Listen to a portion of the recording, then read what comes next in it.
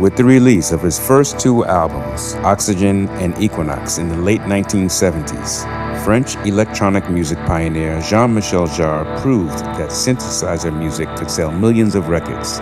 Jarre was not only the first musician from the field of electronic music who had mainstream success, he also staged record breaking concerts that attracted audiences by the millions. In Paris, in the front of the pyramids of Giza, or in China, where Jarre was welcomed as the first pop star of the West to perform there, Jean Michel Jarre never stopped producing music for the masses.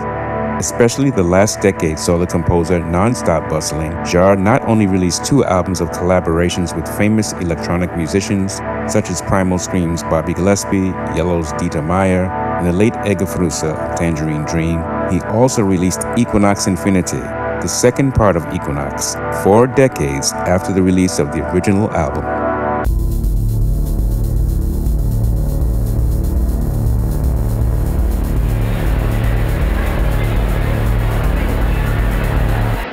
So the first video I chose is from uh, a French band,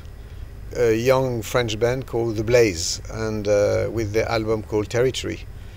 And uh, I choose them because uh, you know I always considered that uh, electronic music has a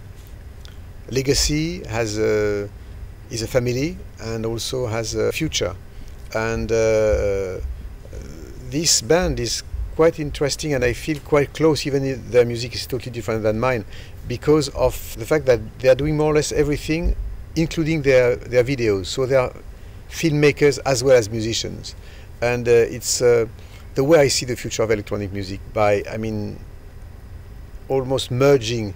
what I mean visuals with music. I mean we are using the same tools these days uh, in the digital world. And I think this is a perfect example of what could be done in the future